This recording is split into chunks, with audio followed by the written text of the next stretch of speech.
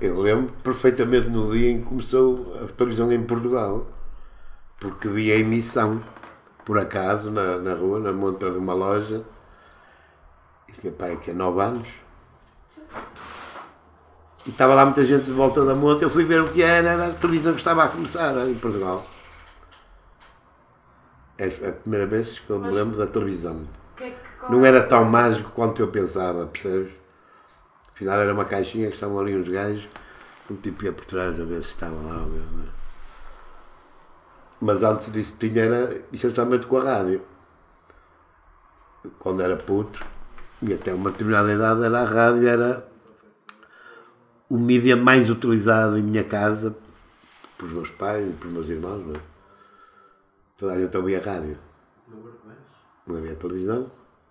Jornais, muito raramente. Quase todos diziam a mesma merda.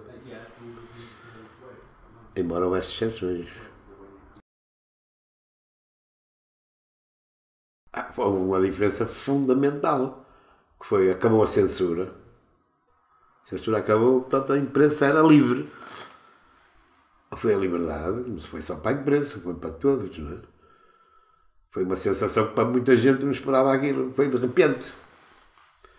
De repente, de um dia para o outro, já podemos dizer tudo o que quisermos. E assumir as consequências do que dizemos. Não é? na, na RTP havia, na altura era a única que havia, é? Havia, a partir de uma determinada altura, não foi no início, não, mas a partir de uma determinada altura havia debates. Só que quem estava, digamos, no poder controlavam tudo a nível dos mídias, é? da comunicação social. Era o MFA, era a tropa que estava a controlar a cena.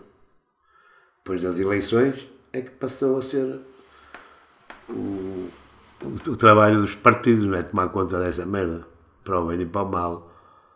Umas vezes para o bem, outras vezes para o mal.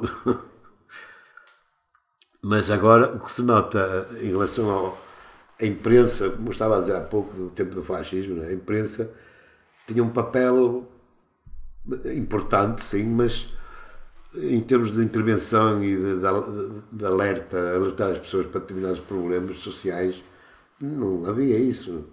Porque eram, eram cortados, riscados, não deixavam publicar. Tudo que fosse para dizer mal do regime era cortado. Às vezes cortavam coisas estúpidas, sem, sem razão nenhuma. Eu lembro de uma vez, não tem piada nenhuma, um pai de um amigo meu foi preso, ele era do Partido Comunista. Foram buscá-lo a casa, de manhã cedo, e deram-lhe 15 minutos para arranjar as coisas, porque é com eles para, para o Porto, para a PIDE, para a prisão. E enquanto o homem se arranjava, e ele já estava à espera que ia preso, mais dia, menos dia, e eles foram à biblioteca, uma lista de livros proibidos, sacaram o que eles lá tinham e levar com eles. Só que não levaram outros livros que eram muito piores que aqueles que eles levaram, só que não constava na lista eles não levaram. Quer dizer, não perceberam um caralho nenhum que estavam ali a fazer.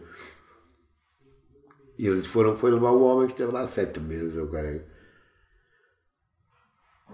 Bom, mas, quer dizer, isto é para tu veres a importância, isso não, não nos jornais, estas notícias, a perseguição aos comunistas e não só, anarquistas e o caralho, e gajos que fossem do anti-Salazar estavam sempre vigiados pela polícia política, não é? E eles não podiam divulgar, a imprensa não podia divulgar essa merda. A televisão era estatal, portanto era a voz do dono, não é? Metiam os festivais da canção e umas, umas variedades e o quê, mas pouca cultura, pouco debate, principalmente. Embora eu não gosto muito de debates na televisão, porque aquilo, aquilo é tudo, é muito estereotipado, percebes? É raro ver uma mesa com meia dúzia de pessoas, cidadãos, cidadãos comuns. A ver? A conversar sobre um tema qualquer. É só doutores, engenheiros, jornalistas e o caralho. Mau, mau, mau, mau, mau, mau, mau, mau. Isso. E eu desligo normalmente. Eu passo à frente. É como ver jogar futebol, eu detesto ver o jogo de futebol inteiro. Não, porque não consigo, dá-me uma. A partir de uma determinada altura aquilo torna-se tão monótono, tão repetitivo que. É Foda-se. a não ser que apareça um, Ronaldo, um Messi ou um Maradona a fazer meia dúzia de pintas e o gajo fica, uau, espetáculo. Foi como há pouco disse, os mídias tiveram e sempre terão uma importância do caraças, não é? Na sociedade, no desenvolvimento sociocultural do, do, povo. Agora, para o melhor e para o pior. O pior é quando os mídias são controlados por um grupo. Controlados como em que os donos desses mídias são pessoas que fazem, eles fazem estudos e têm gajos especializados nisso que vão controlar tudo que editam, tudo que publicam, tudo que vem ao público, é, está controlado. Tem uma, uma, uma, uma doutrina subjacente a isso que controla o que é que se vai dizer e como se vai dizer. Absolutamente. Não há dúvida nenhuma. agora há mais, porque há mais livre circulação dessas coisas, há mais liberdade. Antigamente não. Não havia, havia um ou outro jornal de esquerda, mas estavam sempre vigiados do princípio ao fim. Eu lembro de um que era o República, que era um jornal de republicanos, com gajos muito bons, que escreviam muito bem e tudo. Não eram só políticos, não é? mas também também foi perseguido pela P não sei quantos anos. E havia outro que era um jornal cor-de-rosa, que era o que era do Funchal. Um jornal que era todo do reviralho, Altice Salazarista e o caralho, seja. Só que eles sabiam dizer as coisas de maneira que a censura não cortasse o, o artigo, então punham mensagens subliminares, imagens. Quem quiser que perceba.